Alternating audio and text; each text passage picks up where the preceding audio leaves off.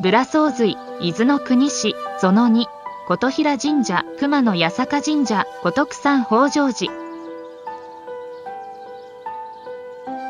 琴平神社は、鹿野川放水路分流石に架かる、綾目橋を修善寺方面に渡り、約600メートルのところに鎮座されています。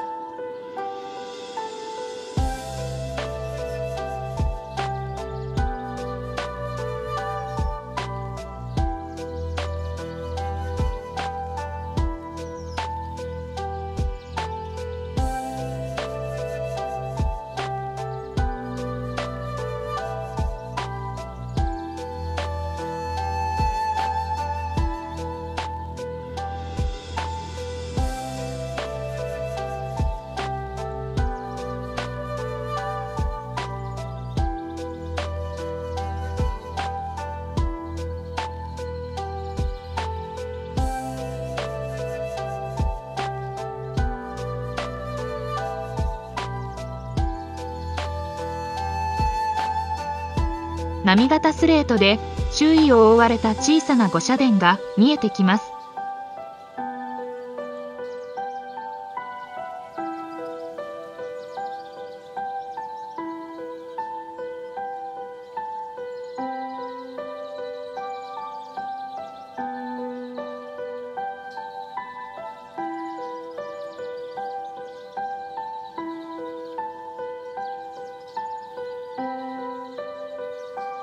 詳細については分かりませんが灯籠などから判断すると今から200年前には鎮座されていたと推察します。ここでびっくり。鹿がひょっこりと現れました。すぐに気づかれましたがその後も警戒はしながらも10分ぐらいは境内の草を美味しそうに食べていきました。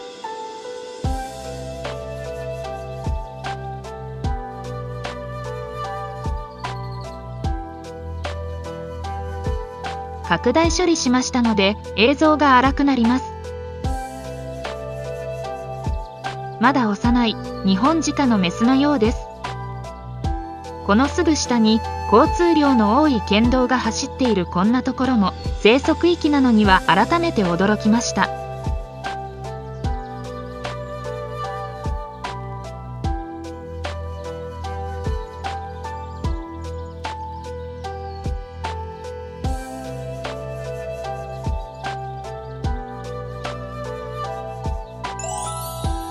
熊野八坂神社の鳥居までは琴平神社から県道129号に沿って歩き約400メートルの距離です。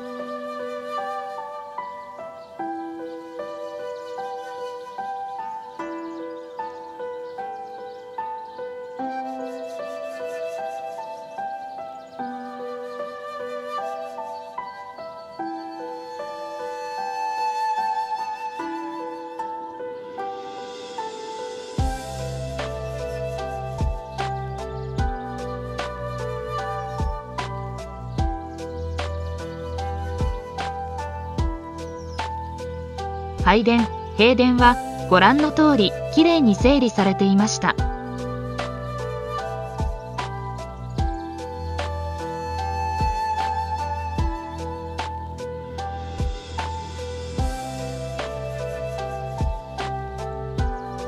本殿。一軒舎流れ作り銅板吹き。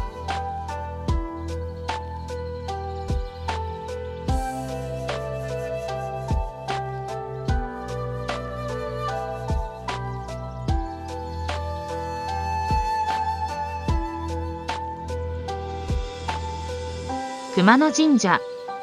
ご祭神イザナミの御事。治承3年1173年に文学商人が誕生。八坂神社。ご祭神スサノオの御事。寛義元年1229年に北条泰時が誕生。それにしてもこの紋章初めて見ました。どうも文学商人にちなんだ真言宗の法輪柄のようです。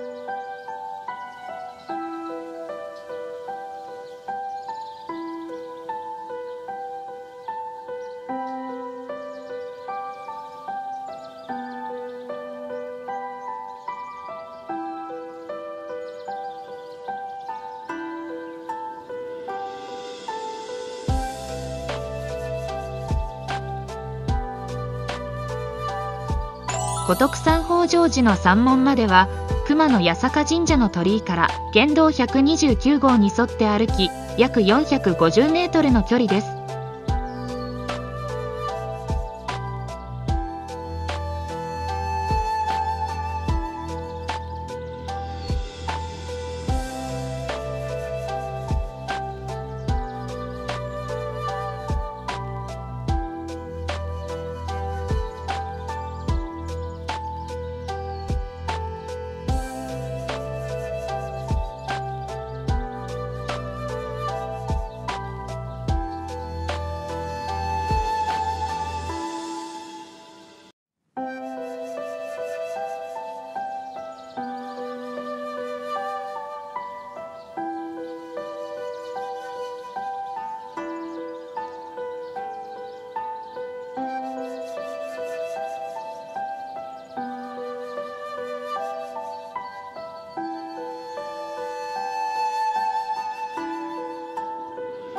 北条寺はご存知の通り鎌倉幕府第2代執権の北条義時が創建したお寺です。宗派は臨済宗建長寺派。ご本尊は木造観世音菩薩座像。現在のご本堂は昭和53年1978年に鉄筋コンクリート造りで再築したものです。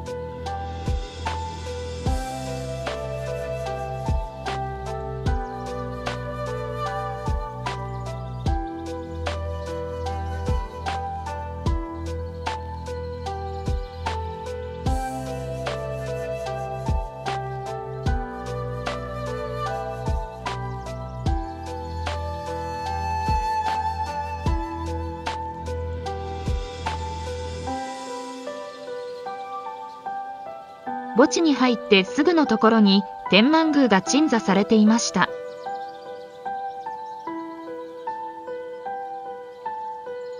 こちら北条寺の北条義時夫婦のお墓は北条義時の嫡男北条泰時たちが建立したものと言われています。なぜ泰時は自分の母ではなく義時と慶室の藤原友光の娘とを並べたのか不思議に思うのは私だけでしょうか。正室の姫の前との結婚が研究3年1192年。その翌年の1193年に義時の次男友時が1198年に三男重時が誕生しています。建任3年1203年に引吉和の変が起き姫の前と離婚。その後継室となった藤原友光の娘通称伊賀の方は第7代執権になる政村と実康を生んでいます。ただしすでに義時には側室の阿波の局との間に泰時が寿永2年1183年に誕生しています。そして泰時以降はさすがに嫡男の系統と正室と離婚していることもあり北条一門で特捜家としての地位を確立していくのに。お寺の案内板には佐伯氏娘とありますが墓石には藤原友光娘と彫られています。